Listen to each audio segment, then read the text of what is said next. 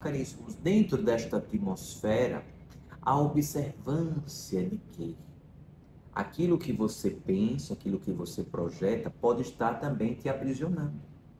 Pode estar te aprisionando. Ou seja, se você entende que para que você alcance algo de maneira positiva na sua vida, você, se, você precisa se. Como chama? Como, é, das chibatadas, não é? Chibatadas de posturas, de coisas que você goste, não é? Caríssimos, a vida encarnatória ela precisa ser compreendida de maneira leve, fluida, disciplinada e honesta com as convicções. Convicções verdadeiras estas de que a verdade é um movimento construído por percepções particulares. Por isso que a espiritualidade diz, não existem verdades absolutas, porque verdades absolutas seriam verdades focalizadas em uma única referência. As verdades relativas ou as verdades que já são verdade relativa, como se chama dentro do linguajar de vocês quando uma coisa já repete o sentido da outra? Pleonasmo. Pleonasmo. É. Né?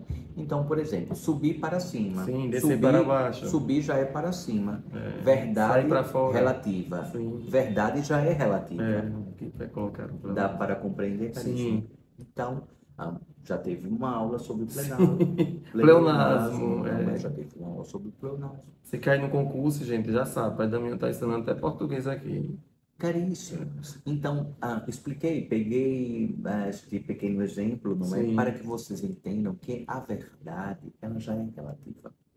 Porque parte de uma percepção particular de alguém, Sim. não é?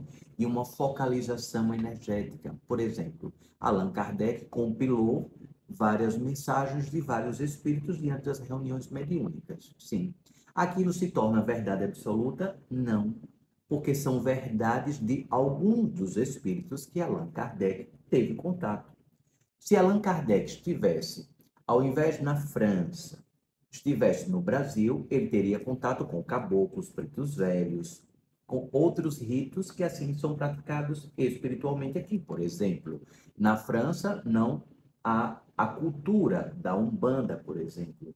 Então, Allan Kardec não teve o contato com estes espíritos que se plasmam com pretos velhos, caboclos, pombagiras, exus, porque assim não estava no Brasil.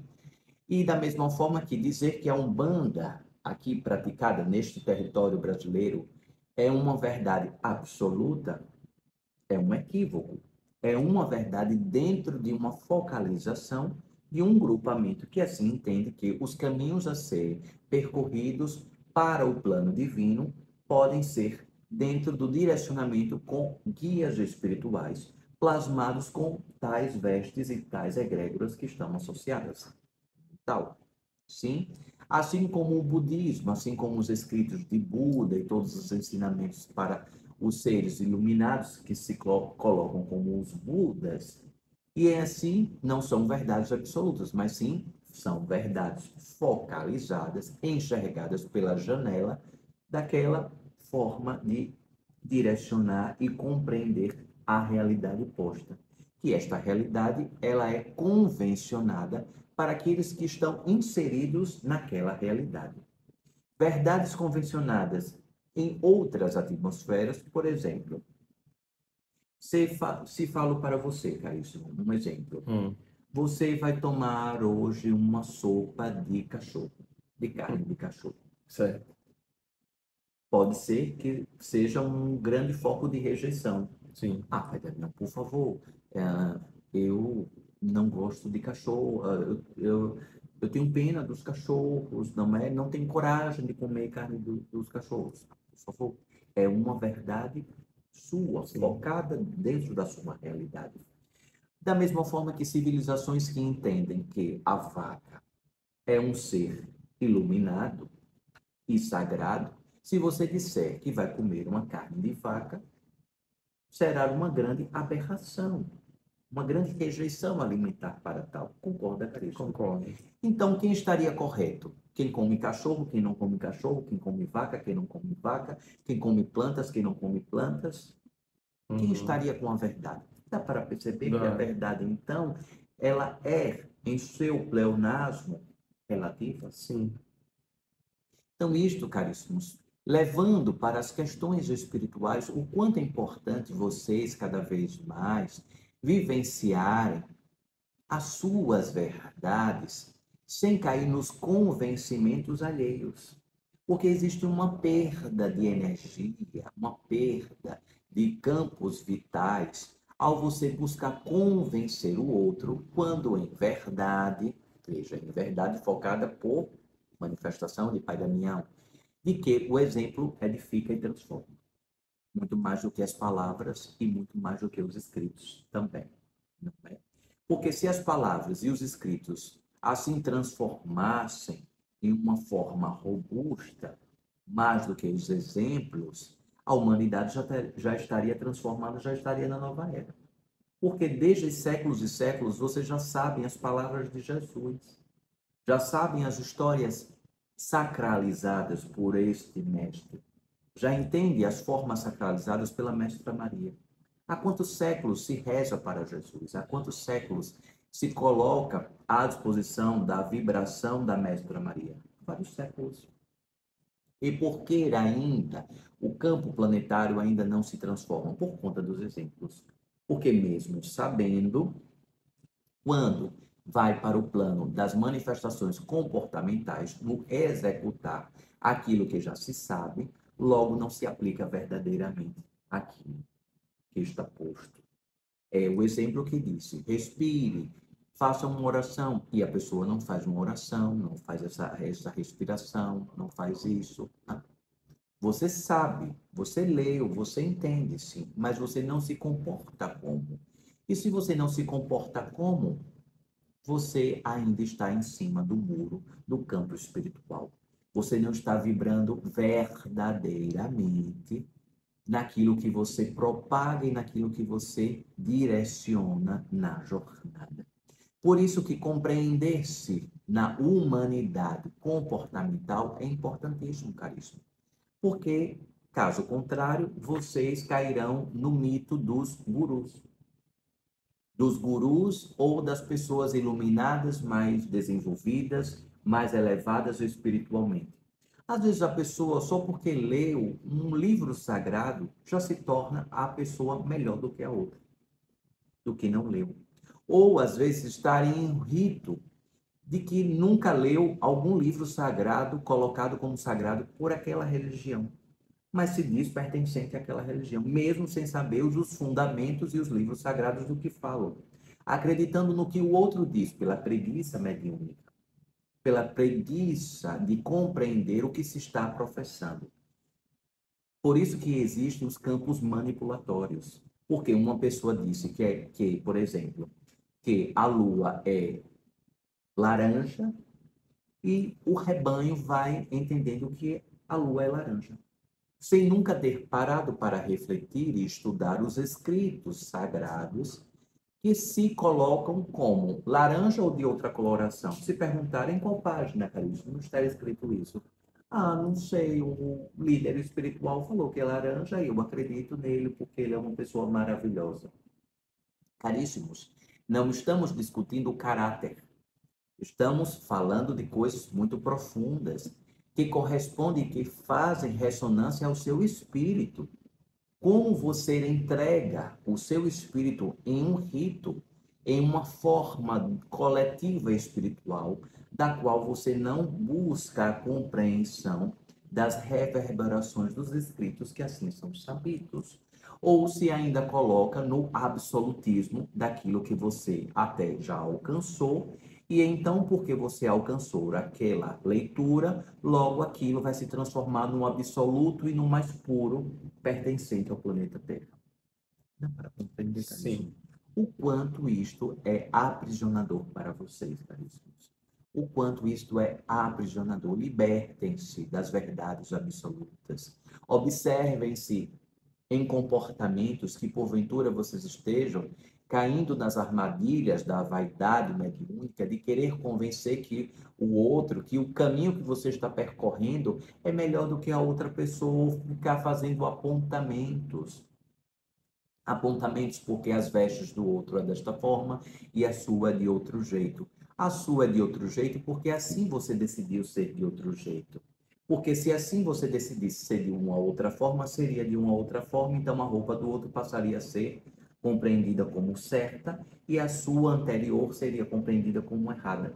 Dá para compreender, caríssimos, uhum. diante dos ciclos de percepções da realidade, porque tudo é feito de forma consensual. Se diante do seu grupamento é convencionado que as pessoas devem vestir branco, roupas brancas, e então você diz assim: não concordo, pai Damião, não concordo que o tratamento deva ser com roupas brancas. Quero que o tratamento seja com roupas vermelhas. Não existe um, não foi convencionado isso. Não existe uma concordância. Então, talvez você agora pertença a um outro grupamento, e não aquele grupamento que veste roupas brancas. Mas quem seria melhor? Quem veste roupas brancas ou quem veste, roupas vermelhas, neste exemplo? Ambos. Ambos estão em suas verdades, sem classificação de separatividade, pois termos como melhor, certo e errado, vocês estão separando cada vez mais, principalmente com a focalização espiritual. Quem está no caminho certo, quem está no caminho errado? Pai Damião, você não acredita. Eu escuto muito isso nas orações que me conectam. Pai Damião, ajuda esta pessoa, meu irmão, está praticando estas, essas estas orações, esses comportamentos ritualísticos. E aí, ah, por favor, faça um sopro no ouvido, não é de forma discreta, e diga, caríssimo, siga a sua vida. Siga suas verdades. Leonasmicamente relativas, não é? Já aprendi com vocês, não é? Então, se cada pessoa, ou seja, se cada ser na experiência humana vivenciar a sua verdade ou as suas verdades, que são mutáveis também, Sim. que são mutáveis.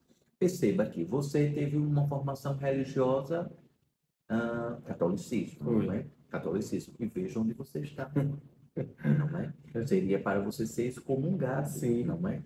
porque você agora está trabalhando com pretos velhos, caboclos, acreditando em extraterrestres e tantas outras questões, não é? Extraterrestres, diga, seres em dimensões Sim. superiores, diferentes da, desta apenas. Então, caríssimos, mas isso já foi uma verdade para você. Uhum. E agora você está em outra verdade. Qual a verdade verdadeira? Todas. Porque depende do ciclo e da percepção convencionada na qual aquele ser está inserido. Então, vou deixar essa reflexão para vocês, caríssimos, para que vocês possam amadurecer o não convencimento e, consequentemente, o não apontamento de quem está no caminho certo, principalmente quando for envolvendo a espiritualidade.